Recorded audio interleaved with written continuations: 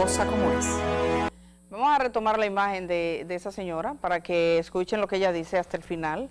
Yo quiero escuchar a esa señora eh, con audio para que la gente le escuche. Hoy es un día en el que hemos tenido muchísimos problemas. Yo le pido perdón a la gente, disculpas.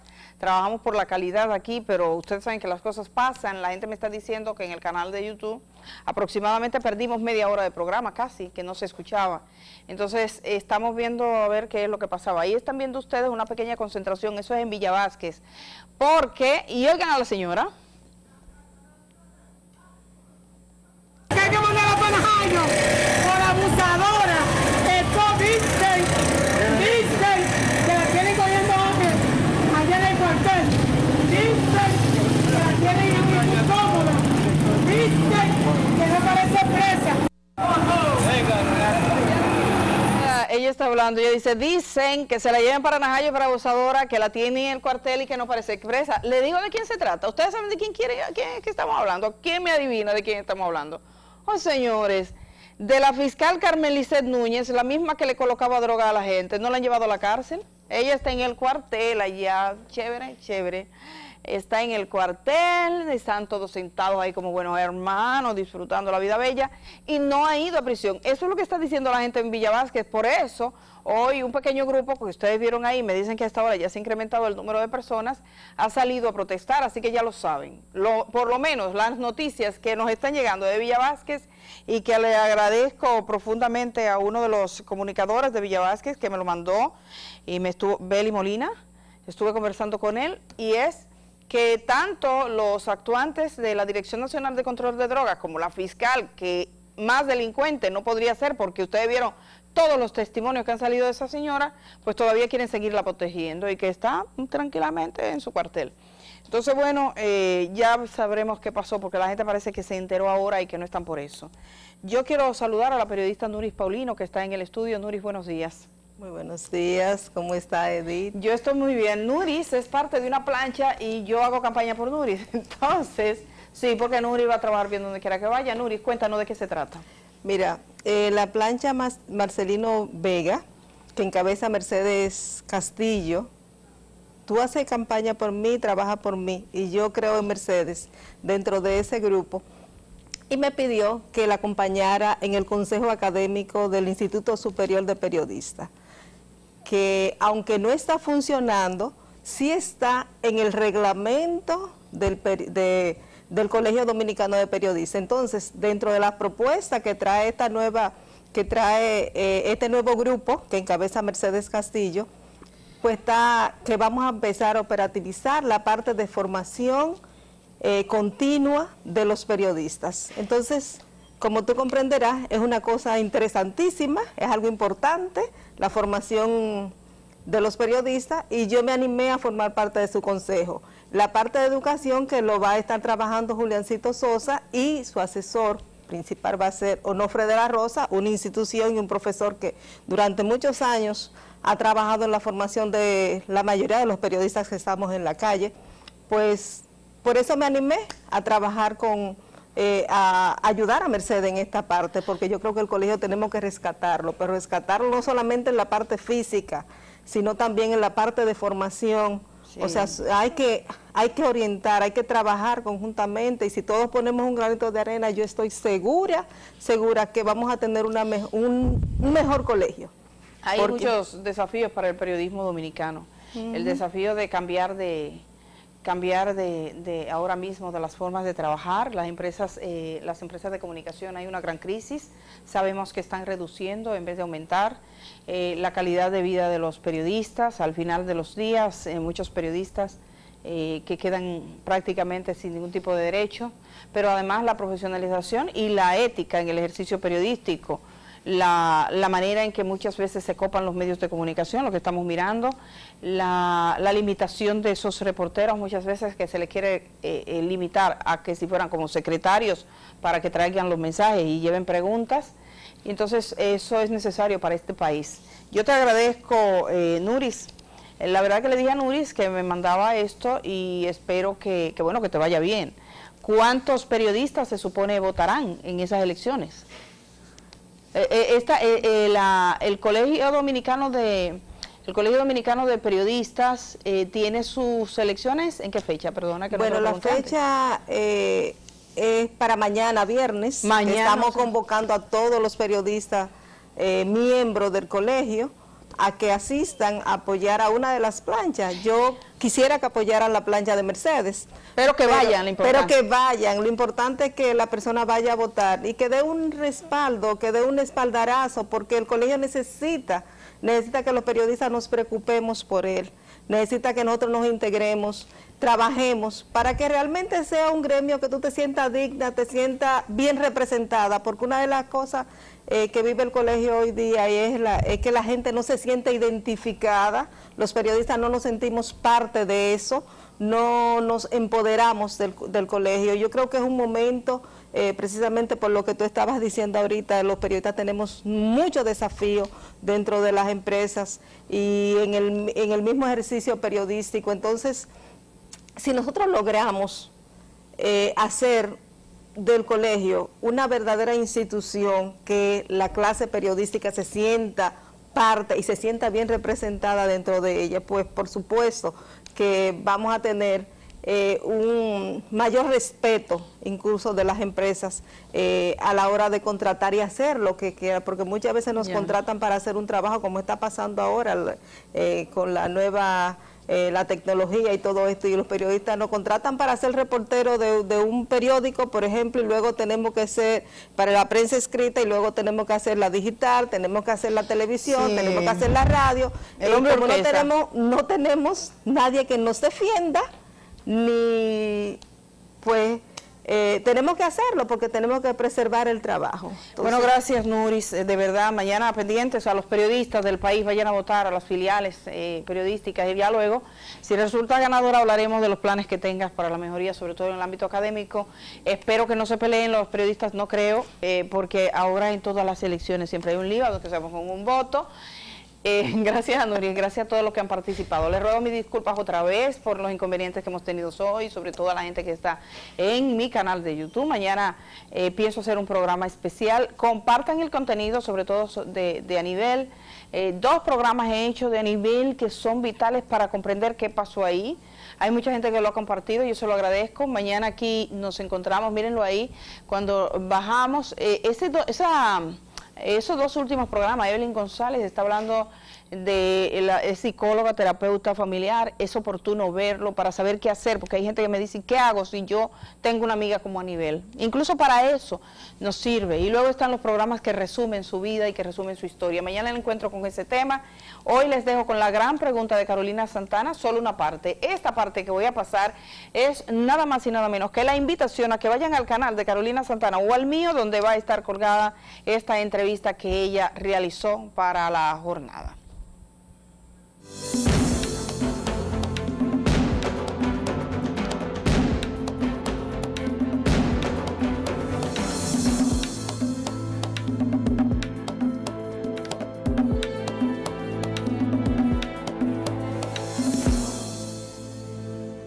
¿Qué lo lleva de la actividad empresarial a la actividad política?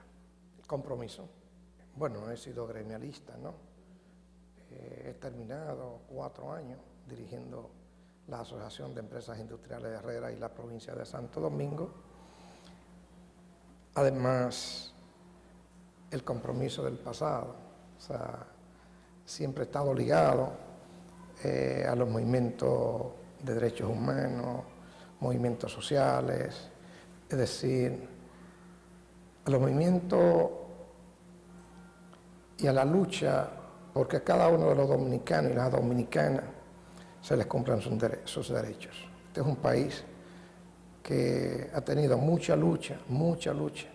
Mucha gente ha muerto para que hoy tengamos la democracia que tenemos, que a pesar de toda su falla, es mejor que los regímenes autoritarios que habíamos tenido antes.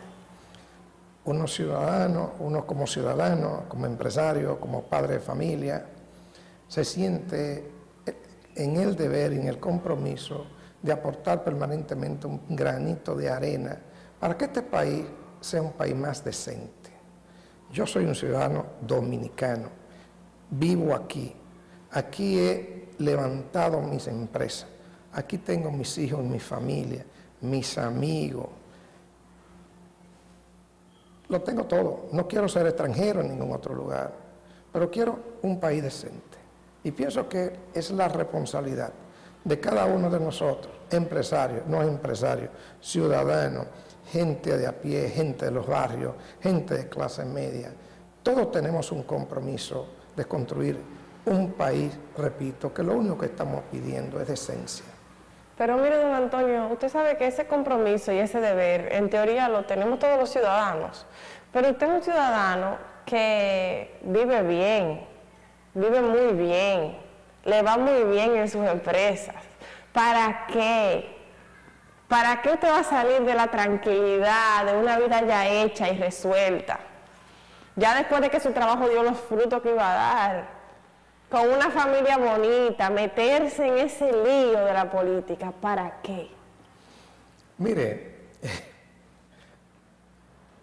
ese razonamiento que en principio me hicieron mi familia, mis hijos, mi esposa, hasta mi papá, que está vivo, mis hermanos.